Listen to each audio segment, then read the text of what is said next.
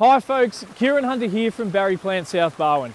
60 River Gum Drive is sure to impress.